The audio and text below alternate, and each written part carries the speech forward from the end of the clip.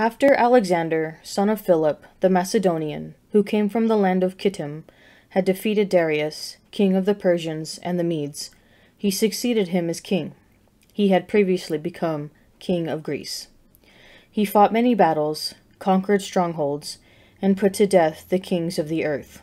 He advanced to the ends of the earth and plundered many nations. When the earth became quiet before him, he was exalted, and his heart was lifted up. He gathered a very strong army and ruled over countries, nations, and princes, and they became tributary to him. After this, he fell sick and perceived that he was dying. So he summoned his most honored officers, who had been brought up with him from youth, and divided his kingdom among them while he was still alive. And after Alexander had reigned twelve years, he died. Then his officers began to rule, each in his own place. They all put on crowns after his death, and so did their sons after them for many years. And they caused many evils on the earth. From them came forth a sinful root, Antiochus, Epiphanes, son of Antiochus the king. He had been a hostage in Rome. He began to reign in the one hundred and thirty seventh year of the kingdom of the Greeks. In those days, lawless men came forth from Israel, and misled many, saying, Let us go and make a covenant with the Gentiles round about us, for since we separated from them, many evils have come upon us. This proposal pleased them, and some of the people eagerly went to the king. He authorized them to observe the ordinances of the Gentiles. So they built a gymnasium in Jerusalem, according to Gentile custom, and removed the marks of circumcision, and abandoned the holy covenant. They joined with the Gentiles and sold themselves to do evil. When Antiochus saw that his kingdom was established, he determined to become king of the land of Egypt, that he might reign over both kingdoms. So he invaded Egypt with a strong force, with chariots and elephants, and cavalry, and with a large fleet. He engaged Ptolemy, king of Egypt, in battle, and Ptolemy turned and fled before him. And many were wounded and fell. And they captured and fortified cities in the land of Egypt, and he plundered the land of Egypt. After subduing Egypt, Antiochus returned in the one hundred and forty third year. He went up against Israel, and came to Jerusalem with a strong force. He arrogantly entered the sanctuary, and took the golden altar, the lampstand for the light, and all its utensils. He took also the table for the bread of the presence, and cups for drink offerings, the bowls, the golden censers, the curtain, the crowns, and the gold decoration on the front of the temple. He stripped it all off. He took the silver and the gold, and the costly vessels. He took also the hidden treasures, which he found. Taking them all, he departed to his own land. He committed deeds of murder, and spoke with great arrogance. Israel mourned deeply in every community. Rulers and elders groaned. Maidens and young men became faint. The beauty of women faded. Every bridegroom took up the lament. She who sat in the bridal chamber was mourning. Even the land shook for its inhabitants, and all the house of Jacob was clothed with shame. Two years later, the king sent to the cities of Judah a chief collector of tribute, and he came to Jerusalem with a large force. Deceitfully, he spoke peaceable words to them, and they believed him. But he suddenly fell upon the city, dealt it a severe blow, and destroyed many people of Israel.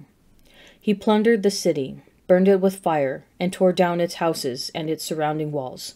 And they took captive the women and children, and seized the cattle. Then they fortified the city of David with a great strong wall and strong towers, and it became their citadel. And they stationed there a sinful people, lawless men. These strengthened their position. They stored up arms and food, and collecting the spoils of Jerusalem, they stored them there, and became a great snare. It became an ambush against the sanctuary, an evil adversary of Israel continually. On every side of the sanctuary they shed innocent blood. They even defiled the sanctuary. Because of them, the residents of Jerusalem fled. She became a dwelling of strangers. She became strange to her offspring, and her children forsook her. Her sanctuary became desolate as a desert. Her feasts were turned into mourning, her Sabbaths into a reproach, her honor into contempt. Her dishonor now grew as great as her glory. Her exultation was turned into mourning. Then the king wrote to his whole kingdom that all should be one people, and that each should give up his customs. All the Gentiles accepted the command of the king. Many, even from Israel, gladly adopted his religion. They sacrificed to idols and profaned the Sabbath.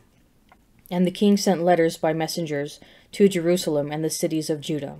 He directed them to follow customs strange to the land, to forbid burnt offerings and sacrifices and drink offerings in the sanctuary, to profane Sabbaths and feasts, to defile the sanctuary and the priests, to build altars and sacred precincts and shrines for idols, to sacrifice swine and unclean animals, and to leave their sons uncircumcised. They were to make themselves abominable by everything unclean and profane, so that they should forget the law and change all the ordinances, and whoever does not obey the command of the king shall die. In such words he wrote to his whole kingdom, and he appointed inspectors over all the people and commanded the cities of Judah to offer sacrifice, city by city. Many of the people, every one who forsook the law, joined them, and they did evil in the land. They drove Israel into hiding in every place of refuge they had. Now on the fifteenth day of Chislev, in the one hundred and forty-fifth year, they erected a desolating sacrilege upon the altar of burnt offering. They also built altars in the surrounding cities of Judah, and burned incense at the doors of the houses and in the streets. The books of the law which they found, they tore to pieces and burned with fire. Where the book of the covenant was found in the possession of anyone, or if anyone adhered to the law, the decree of the king condemned him to death. They kept using violence against Israel, against those who found month after month in the cities. And on the twenty fifth day of the month they offered sacrifice on the altar, which was upon the altar of burnt offering. According to the decree, they put to death the women who had their children circumcised, and their families, and those who circumcised them. And they hung the infants from their mothers' necks. But many in Israel stood firm and were resolved in their hearts not to eat unclean food. They chose to die rather than to be defiled by food or to profane the holy covenant. And they did die. And very great wrath came upon Israel. In those days, Mattathias, the son of John, son of Simeon, a priest of the sons of Joarib, moved from Jerusalem and settled in Modein. He had five sons, John, surnamed Gaddi, Simon called Thassi, Judas called Maccabeus, Eleazar called Avaran, and Jonathan called Apphus. He saw the blasphemies being committed in Judah and Jerusalem, and said, Alas, why was I born to see this, the ruin of my people, the ruin of the holy city, and to dwell there when it was given over to the enemy, the sanctuary given over to aliens? Her temple has become like a man without honor, her glorious vessels have been carried into captivity. Her infants have been killed in her streets, her youths by the sword of the foe. What nation has not inherited her palaces, and has not seized her spoils? All her adornment has been taken away. No longer free, she has become a slave. And behold, our holy place, our beauty, and our glory has been laid waste. The Gentiles have profaned it. Why should we live any longer? And Mattathias and his sons tore their clothes, put on sackcloth, and mourned greatly. Then the king's officers, who were enforcing the apostasy, came to the city of Modein to make them offer sacrifice. Many from Israel came to them, and Mattathias and his sons were assembled. Then the king's officers spoke to Mattathias as follows You are a leader, honored and great in this city, and supported by sons and brothers. Now be the first to come and do what the king commands as all the Gentiles and the men of Judah and those that are left in Jerusalem have done. Then you and your sons will be numbered among the friends of the king, and you and your sons will be honored with silver and gold and many gifts. But Mattathias answered and said in a loud voice, Even if all the nations that live under the rule of the king obey him, and have chosen to do his commandments, departing each one from the religion of his fathers, yet I and my sons and my brothers will live by the covenant of our fathers. Far be it from us to desert the law and the ordinances.